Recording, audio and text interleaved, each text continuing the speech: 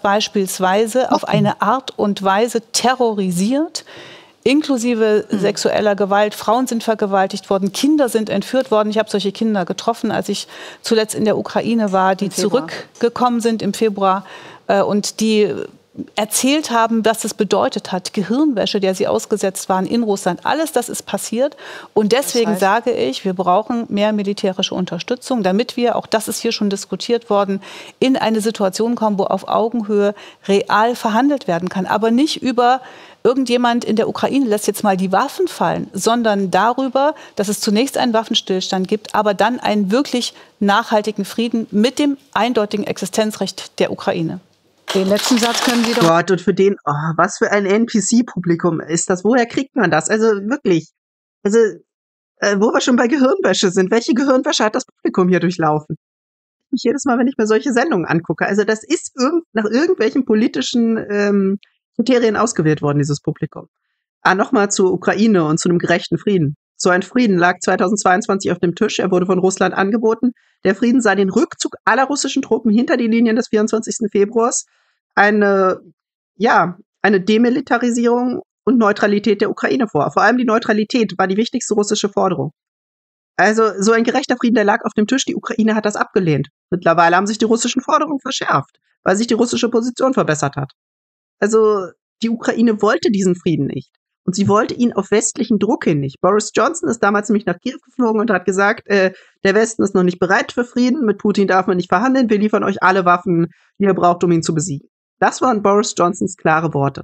Und äh, ja, wenn dein wichtigster Geldgeber und Waffenlieferant äh, dir sagt, was du zu tun hast, dann äh, ja, beugst du dich dem als untertäniger Vasallenstaat natürlich. Und so ist es gekommen. Und jetzt herrscht dieser Krieg immer noch. Also hunderttausende Le Menschen könnten noch am Leben sein, wenn der Westen damals keinen Druck auf die Ukraine gemacht hätte, diesen, ähm, ja, dieses Abkommen anzunehmen unterscheiden, Frau Wagen. Lexi schreibt gerade im Chat, äh, da läuft keine Gehirnwäsche, da geht bei Applaus eine Ampel an.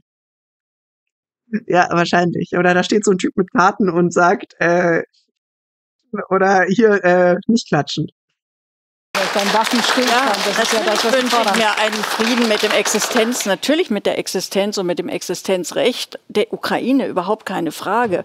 Aber vorhin wurde ja zum Beispiel von Herrn Strunz gesagt, ja, wie kann man denn jetzt einen Waffenstillstand fordern, wo die Ukraine so schwach ist? Also da kann ich nur sagen, ich habe den auch schon vor einem Jahr gefordert und da war die Ukraine in einer viel besseren Verhandlungssituation. Und je länger dieser Krieg dauert, desto schlechter wird die Situation. Also das ist eine Lüge. Russland war immer zu Verhandlungen bereit.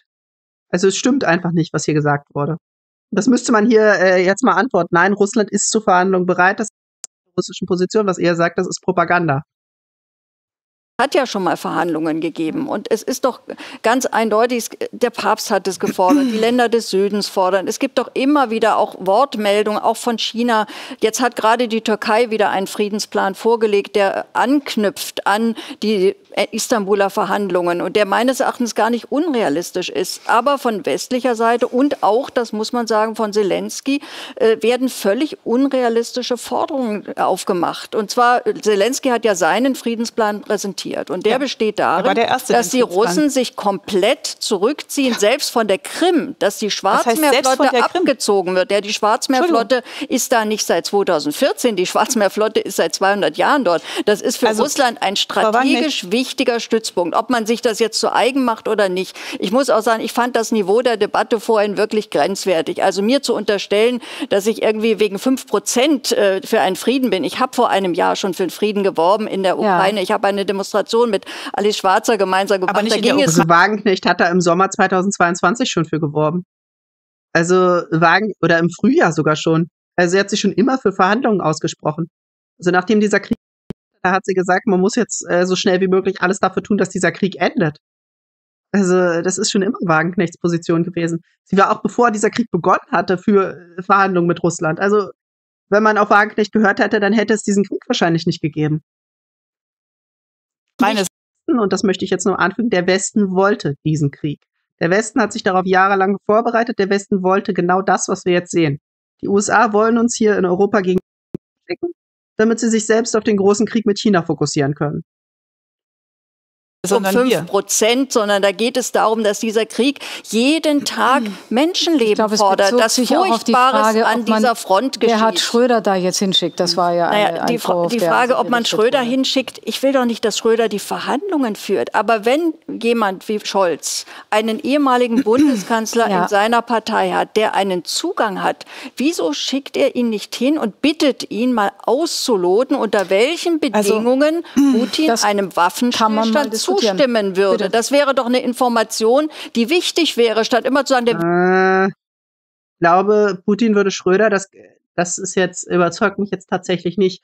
Russland hat offiziell gesagt, unter welchen Bedingungen es einem Waffenstillstand zustimmen.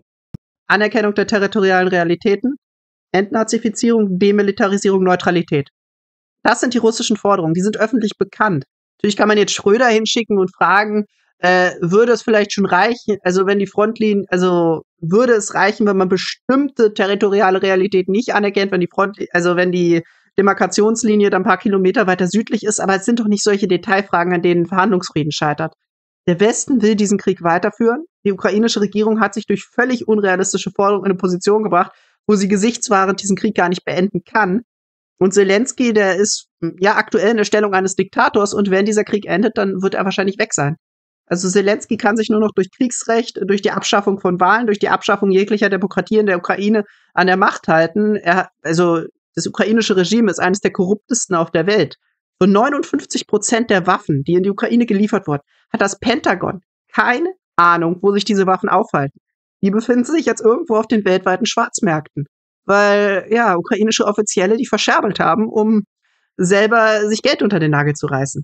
Also das, äh, das sind doch Tatsachen, die man einfach mal sehen muss. Wenn der Krieg endet, dann hat die ukrainische Regierung, dann hat dieses Regime eine große Einnahmequelle verloren, dann werden solche Leute wie Zelensky wahrscheinlich für ihre Korruptheit vor Gericht gestellt werden.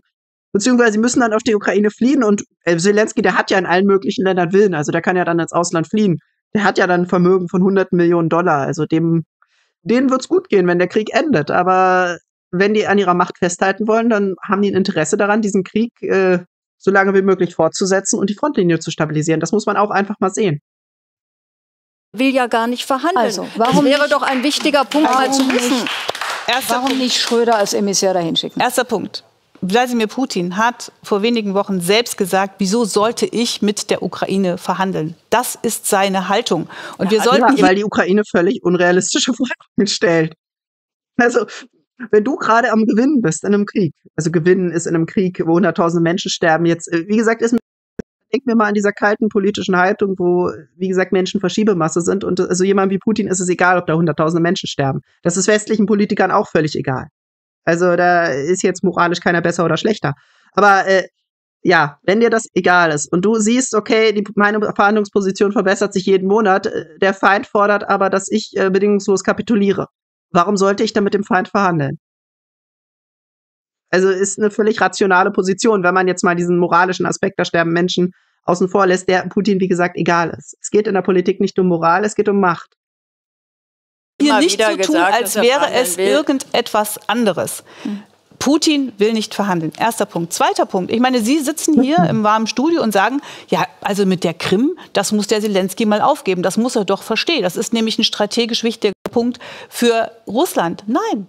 Das muss Zelensky überhaupt nicht. Zelensky hat das gute Recht und dieses ukrainische Volk hat das gute Recht, sein Das Territorium ukrainische Volk wird gerade an der Front verheizt, beziehungsweise ist vor diesem Krieg ins Ausland geflohen. Also es wurden schon zehntausende Menschen an der ukrainischen Grenze auf, aufgegriffen, die eben nicht eingezogen, die fliehen wollten. Also das Volk steht nicht hinter ihrer Regierung, die, wie gesagt, Wahlen abgeschafft hat. Also Putin wurde äh, demokratisch gewählt. Zelensky hat Wahlen bis auf weiteres abgesagt. In Russland gibt es Oppositionsparteien. In der Ukraine wurden zumindest alle linken Oppositionsparteien, alle nicht nationalistischen Oppositionsparteien verboten. Also das ist die Situation. In der Ukraine, da werden Journalisten vom Geheimdienst ermordet, beziehungsweise ins Gefängnis gesperrt und sterben dann da. Also es ist die Situation in diesem Land. Also das ukrainische Volk hat nichts zu melden. Das ist ein kleines, korruptes Regime, was diese, die Geschicke dieses Landes in der, ja, in der Hand hält und was letztlich auch nur von westlichem Geld abhängig ist.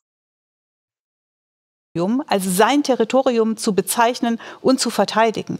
Wenn die Ukraine selber sagt, wir wollen das anders machen, dann können sie das tun. Aber das können wir hier nicht in diesem Raum im warmen Studio miteinander verhandeln. Ja. Und noch eins. Aber trotzdem die Frage, die sich ja jetzt stellt, ist die, und das ist ja deutlich geworden, nicht nur jetzt, sondern auch früher, dass die, äh, die, die Frage, ob das militärisch zu mhm. erreichen ist. Also deswegen fände ich es jetzt aus, wie gesagt, Wagenknecht hat sich ja stark geschlagen, sie hat die wichtigen Argumente gebracht, aber deswegen fände ich es aus agitatorischer Sicht sinnvoller, hier wirklich äh, die ukrainische Regierung zu attackieren zu sagen, das ist ein komplett äh, korruptes Regime, Zelensky ist ein Diktator, hat jegliche Opposition verboten. Also der man kann sich nicht anmaßen, für sein Volk zu sprechen. Wie gesagt, das ist eine Ebene, auf der ich Debatten eigentlich nicht führen wollte, aber wenn der äh, wenn der Gegner so äh, emotionalisiert, so moralisiert, äh, dann sollte man auch mal auf dieser Ebene kommen, denn äh, auf der Ebene, da gibt es wesentlich mehr Argumente gegen den Westen und gegen sein ukrainisches Marionettenregime als äh, gegen Russland. Also wenn man auf der Ebene diskutieren will, wie gesagt, Wagenknecht ist das wahrscheinlich zu blöd, deswegen kommt sie mit sowas nicht. Und sie weiß, dass äh, die Medien sie dann noch härter attackieren würden, aber ja, wenn man so eine Diskussion gewinnen will, sollte man vielleicht mal auf der Ebene kommen. Denn äh, damit kann man diese ganze Absurdität dieser, das ukrainische Volk, nein, nicht das ukrainische Volk, das ukrainische Regime will diesen Krieg. Also das, das könnte man ja vielleicht mal argumentieren.